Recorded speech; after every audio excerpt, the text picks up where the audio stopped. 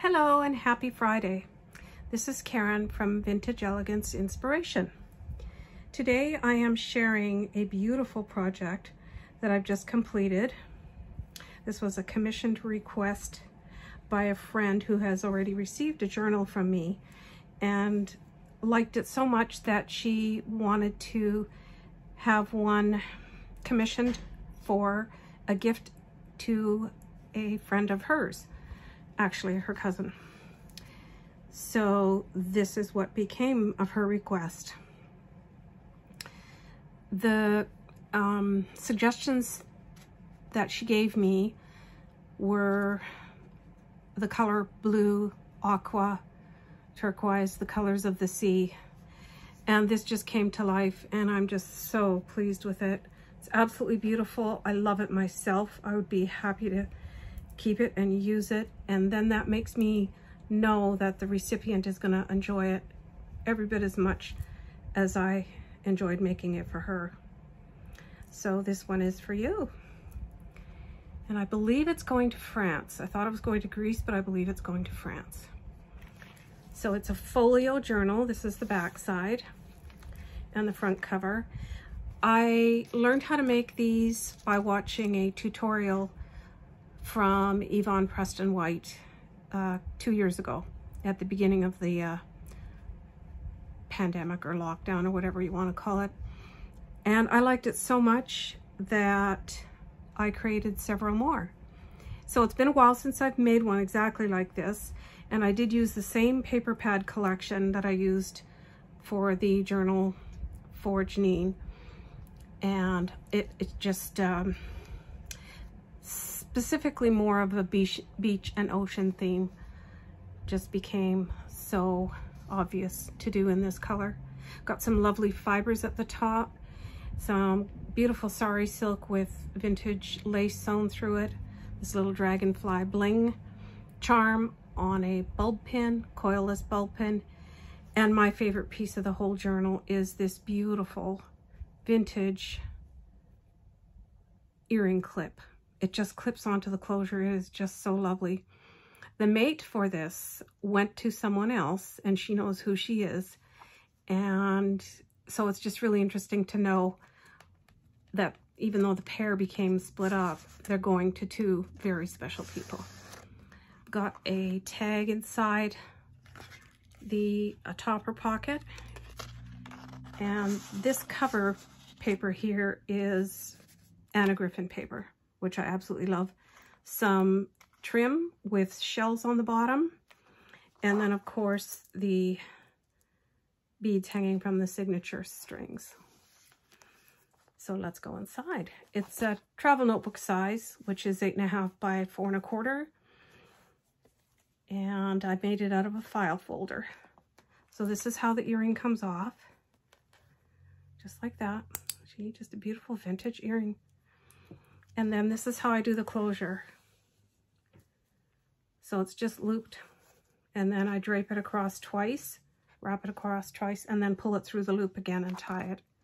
Very easy, very basic. So we have the inside cover. The paper pad that I used for the cover, inside and out, is Havana by um, Prima, which I've used before. Some beautiful vintage blue lace here. Vintage wallpaper made into a tag. And I've added some sentiments or quotes or journal prompts for the recipient. This I just had to include. It was just so dreamy and so beautiful in those ocean colors. A little shell charm, a tiny tag, and some glitzy uh, eyelash trim together with the vintage lace. And she can just journal on the backs of these if she wants to. On this side, we've got the journal, so I'm going to flip it over for a minute like so. And this is the back of the journal, flips out.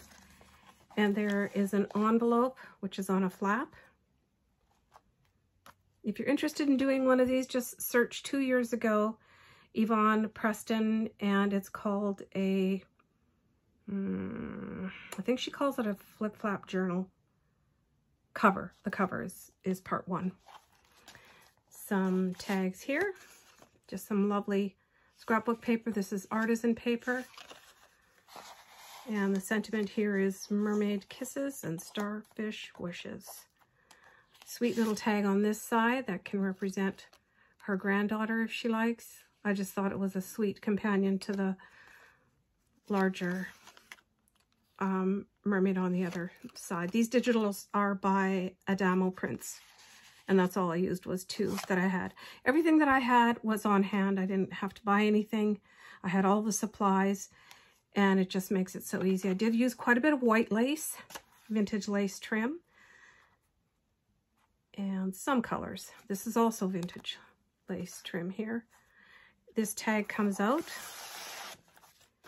and she can journal on the back of that if she chooses. It's also got another secret compartment right here. I didn't put anything in it, but she's welcome to tuck something, you know, if she has a a love letter or something private that she doesn't want everybody else to see, she can just tuck it in there. I'm actually going to do like so for now. And I planned it so that this little hummingbird just peeks through the window of the envelope. This I just did some stamping on a parchment envelope and then I made the window myself with uh, clear cardstock or acetate. Just two simple tags on this side seahorses and the coral can be journaled on the back and stitched around the pockets. It's a beautiful glittery, sparkly scrapbook paper. I did some dry embossing here on some parchment paper and then I've just added a business card for her. Sweet little hummingbird there. So here we have the journal. I will make sure that I am in frame. Alrighty. And here's my parameters. That's how I try to measure so I don't go out outside of it. It is 15 pages that are all tea dyed. And 15 times 4 is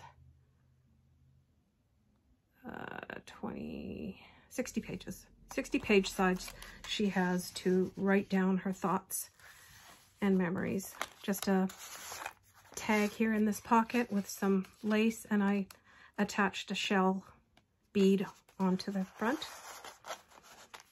Added the word journal to the cover and I love this textured and glittery scrapbook paper. It's so sweet. Sentiment here is the voice of the sea speaks to the soul. Inspire and some lovely vintage lace on the side. Come Away With Me, a Little Mermaid that I stamped. I did a lot of uh, gold embossed stamping in this journal.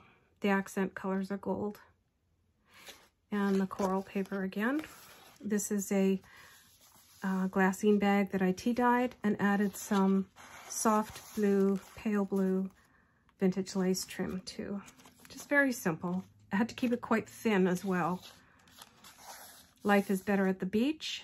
This sentiment says, every day do something a little different. Lots of room for journaling, some more vintage lace,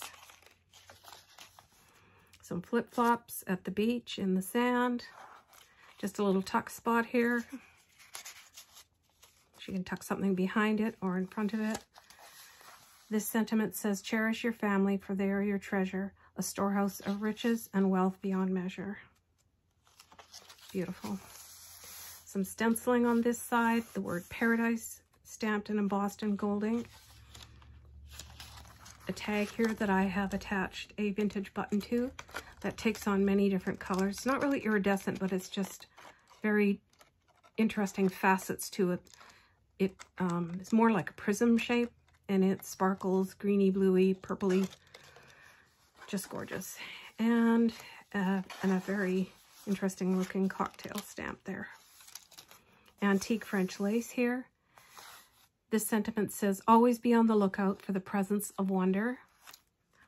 This one says, sand, surf, sunshine, beach, and a starfish stamped in gold. Tropical leaves, another cocktail. Oh, so pretty. more vintage lace. This was the end of it. That one is all done. It's beautiful. I love the way it drapes over the side when the uh, journal is shut. And here we've got a little flip up. And a tag. I love the mosaics in this. And it's also embossed. I don't know if you can see the texture on it. The word journey there. And here are the beads again, if you want a close up. These are gorgeous sea glass beads um, that are shaped in hearts. Love it, so sweet. And these are, I think they're agate beads. I just love the way they change colors when you hold them in the light. Different fish stamped there on each side. The word dreams, the word beach, and a long tag. Oh, I can see I didn't put a topper in there yet. I'll just note to self to finish that. A stamp of a, a girl floating around on a palm leaf. Ocean air, salty hair. The word vintage on the other side of the antique French lace. Lots of room for journaling. And great size to just throw in your handbag or your tote bag. More stenciling, some more vintage lace, and I just round some very narrow blue satin ribbon through it. Starfish stamped here in the gold. This sentiment says, and the song from beginning to end I found in the heart of a friend. I love that quote. Another little tuck spot, sand dollar stamped up there. Some line journal page. Cute little tag of a palm tree, a hut, and the quote says, a day at the beach.